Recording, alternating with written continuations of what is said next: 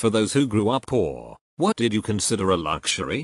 Going out to eat at a restaurant, and the big fancy restaurant was something like Red Lobster or Olive Garden. You got all dressed up and everything. I thought Sizzler was a fancy restaurant until I was in high school and some friends were talking about a steakhouse that actually was fancy and I was unaware of its existence but compared it to Sizzler. When I was a kid and my uncle who was a long haul truck driver came to visit we went to Sizzler and got dressed up for the dinner. I thought Chili's was an upper class establishment as well. My parents won 1500 bucks at a lottery once. They bought a new sofa to replace a 25 year sofa, phone, and we went to a mid-range steakhouse. First restaurant for whole family. I was 20. Oh I love this. I first ate steak at the age of 19 when my brother-in-law bought me one from, I think, Outback Steakhouse. It was like that pupil expanding scene in Requiem for a Dream. I freaking loved it. For a working class kid raised on food stamps,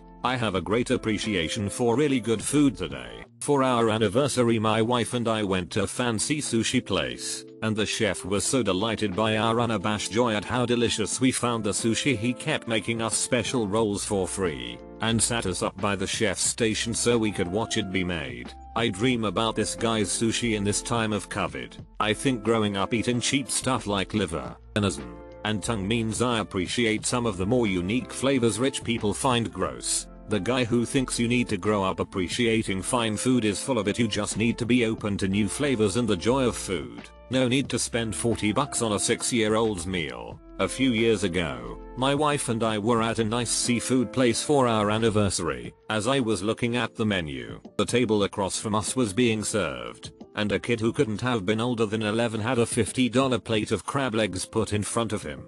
First, no chance my parents would have ever taken me to a place like that. Second, no chance my parents would allow me to even look at any section of menu above $8.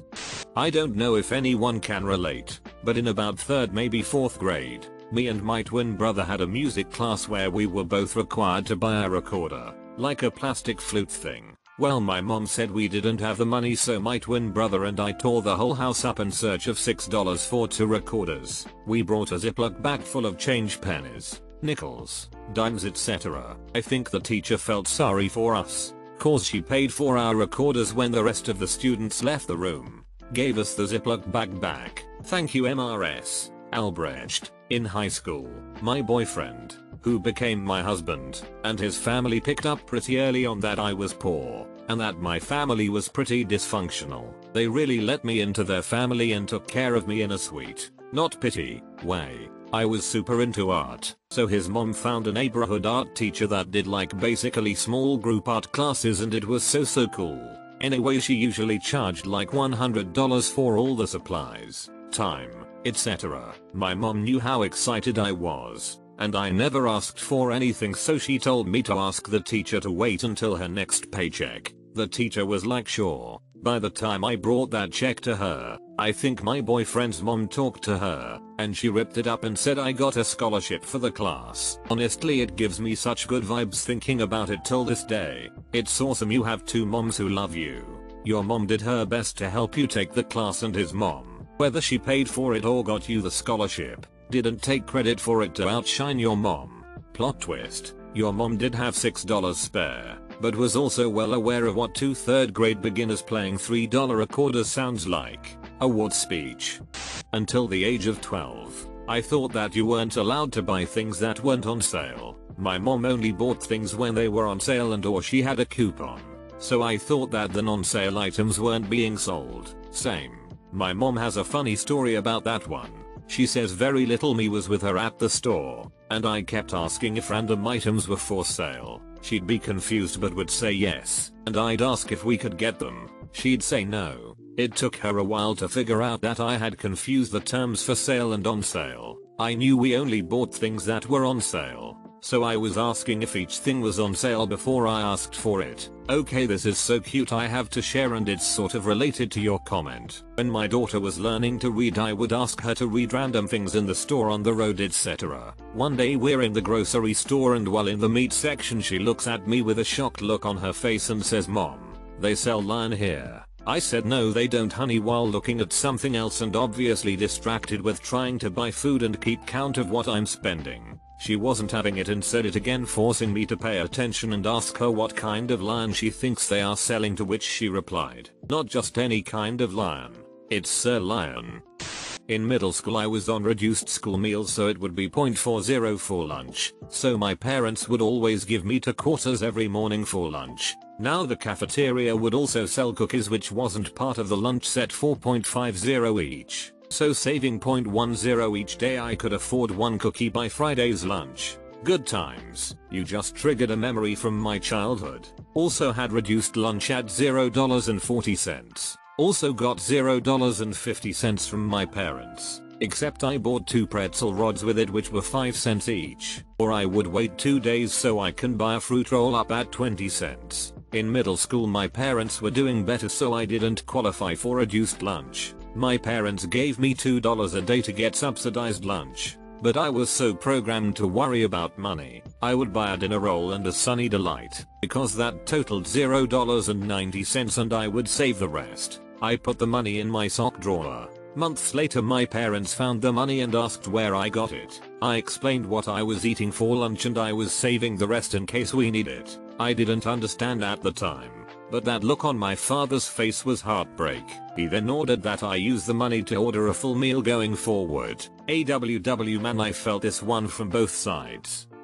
Grew up pretty poor in Arkansas in a trailer. I literally got a door to my bedroom for Christmas one year. It probably still was the best gift I ever received. I grew up poor in Arkansas too. We didn't have central heat or air so I had to chop firewood for our wood burning stove to stay warm in the winter. We lived way out in the boonies too. So convincing my parents to spend gas to take me to a friend's house was really hard. My BFF's parents cooked meth so their house was even more off than mine. Boy if that ain't the most rural Arkansas story I've ever heard. Coming from a rural Arkansas, lol. I got pretty excited to be given my own bed. Same. Slept on an old futon for about 10 years as a kid. I could feel the metal bars through the mattress. My sister had a double-sized bed however, I only got to sleep in a double-sized bed once I moved out of my parents' place. I also slept on a futon for most of my childhood. When I went to college I couldn't believe how amazing those crappy twin mattresses felt. Whenever one of my peers mentioned going home and how nice it felt to sleep in their own bed I couldn't relate. School parties where everyone brought something to share for lunch. If you don't bring something, you don't get to participate. I brought two carrots after not being able to afford school lunch for two years. Even the teacher laughed at me. My young self just decided that day that some people don't deserve lunch. I know the feeling. Our language classes always had potluck day where kids would bring dishes from whatever language the class was. I took French for 3 years and two of those years, my family couldn't afford to participate and my teacher decided to let me participate after she saw how much food everyone else brought. But she made a point to berate me for it. I didn't eat out of guilt. Well maybe a cup or soda or something. People like that shouldn't be teachers. That's just evil.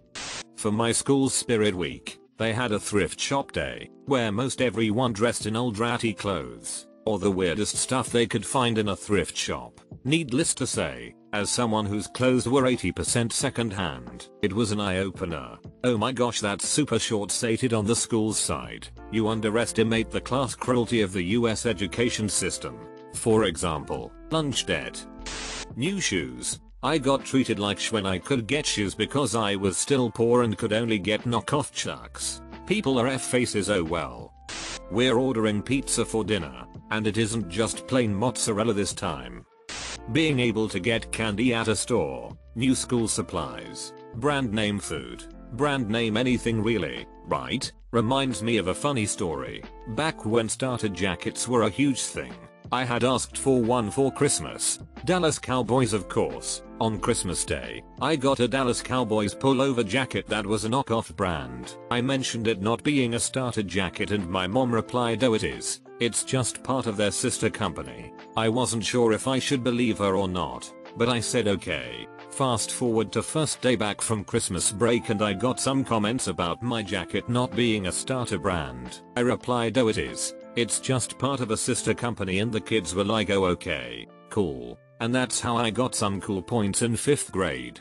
New clothes. I grew up pretty poor, no TV, no toys, but had a Sears catalog. My dad got in a serious accident when I was in 4th grade and almost lost his life. He won a small settlement from the community college he was working at and I was able to buy new clothes for the first time in my life. But for this all I ever had were hand-me-downs from my cousin and donation clothes from the church. Most were worn to the point of having patches on the knees. The worst part about getting new clothes for the first time is I felt terrible the whole time picking out new clothes because I always felt like a financial burden to my parents. I remember going to Miller's Outpost and picking out typical 80s clothes. OP, TNC, etc. It's funny how growing up poor affects my everyday choices, for better or worse. I'll never outgrow some of the feelings I had as a poor kid and I feel for any kid who has to endure a childhood of poverty. It will affect them and their choices for the rest of their life. This, my folks always had three meals a day for us but clothes were always a treat. It might be a pair of pants and a shirt but my folks always made sure it was something that we were able to pick out and it always felt so special.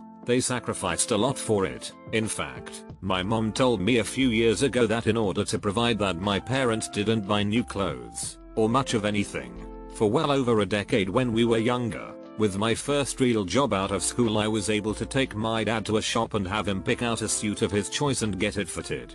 He's confessed that it's one of the moments that's really stuck with him. He still has that suit and has worn it to both my sisters and my weddings. But yeah, some of those feelings and habits don't really go away. Regarding clothes, they still get worn till they can't be patched anymore and I loathe to throw them away. I gotta stop there because this is actually making me surprisingly emotional. With my first real job out of school I was able to take my dad to a shop and have him pick out a suit of his choice and get it fitted. He's confessed that it's one of the moments that's really stuck with him. He still has that suit and has worn it to both my sisters and my weddings. This paragraph alone made me cry 3. OMG. I wore hand-me-downs or thrift shop clothes because we couldn't afford all new ones. At the beginning of the school year, my mom would give my siblings and I $50 to spend on new clothes plus we'd get a new pair of gym shoes. I struggled to pick out new things because I knew she and my dad were giving up something for us to have new things. Often, I'd get a couple of things and ask her to save the rest for later.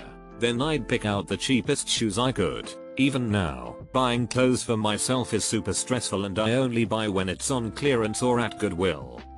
My mom had 7 children in 10 years, 1950 to 1960. I remember having a whole bottle, those smallish glass ones that came out of the machine for 10 cents, of soft drink to myself instead of sharing one bottle between all 7 of us. I was perhaps 5 years old. I still remember this as the best thing ever. My mum did the same but in the 80s. Looking back I think she had a pregnancy addiction.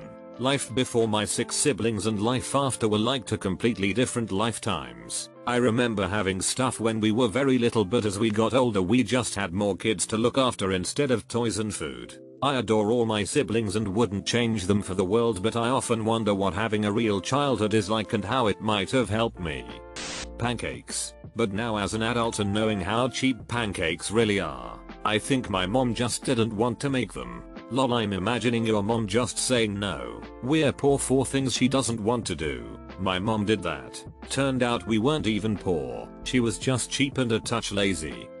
Staying at someone's house who wasn't poor, like a relative or friend. Their house was also so clean, beautiful. Pictures on the wall, knickknacks on the counter, and carpet you could play on because it was clean. I spent my entire teenage years hiding where I lived. I used to love flipping through home furniture catalogs like IKEA and fantasizing about what my dream bedroom would be.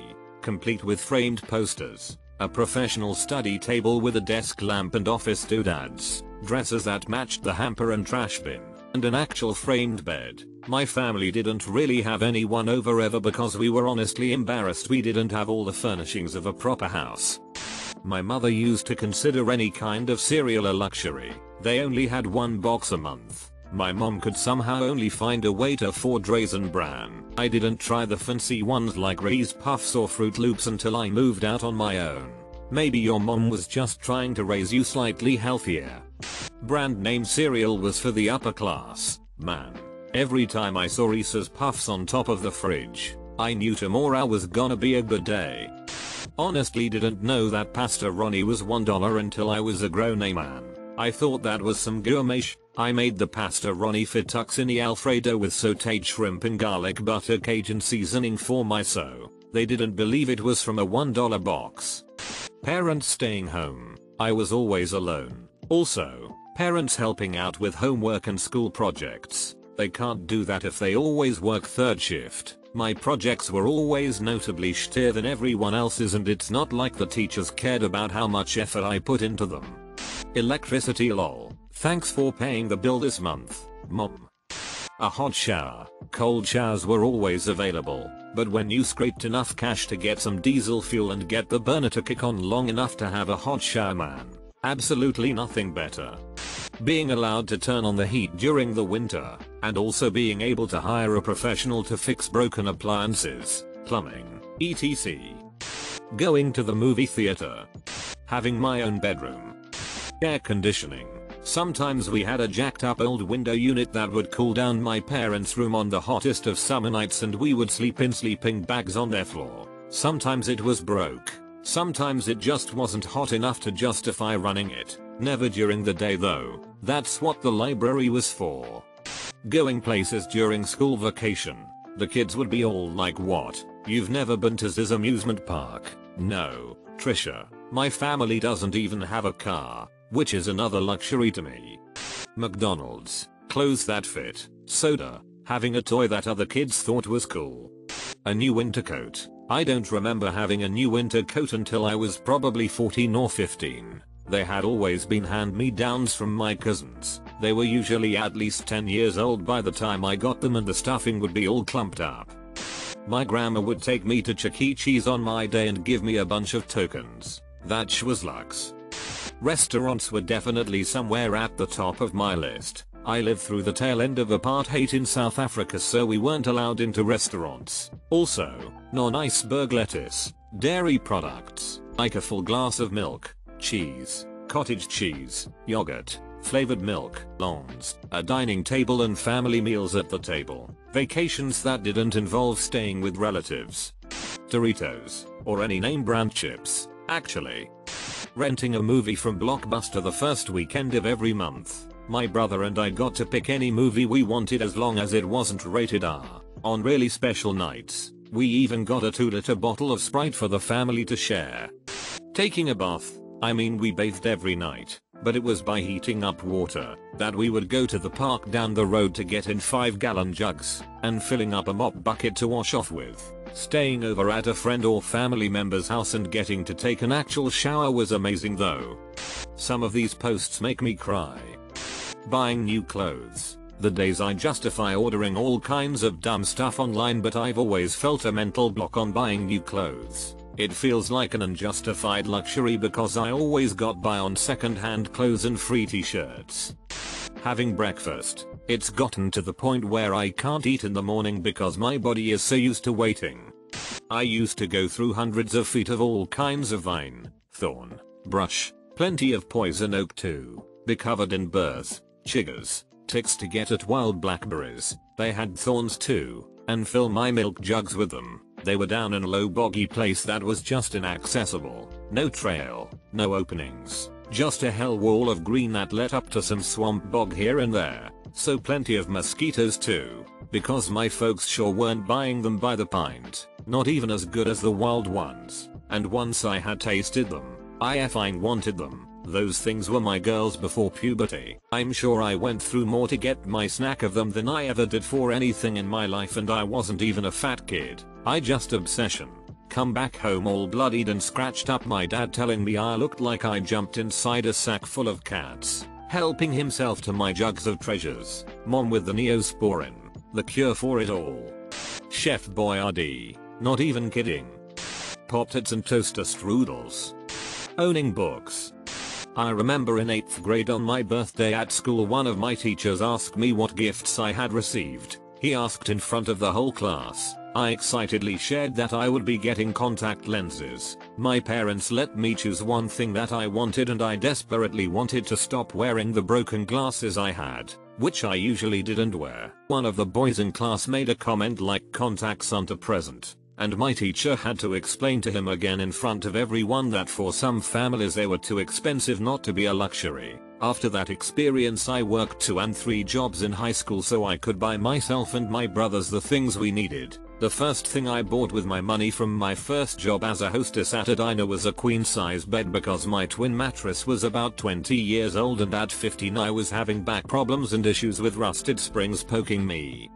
Christmas presents. I was a kid and one year for Christmas when I was young. Before I could recognize that I was making any kind of larger point. I said that I wanted my parents to just give my presents to the kids who didn't have anything. But I didn't know that I was one of those kids. I wonder what they thought when a kid said that to them. I wonder if it hurt them or inspired them. The really important thing is relationships. The people in our lives aren't some kind of replacement for things. People are the most valuable things to us. F the garbage. Don't buy anything this Christmas. Just spend it with your loved ones and genuinely express your love for them. That's the value. Things are garbage. People make a difference.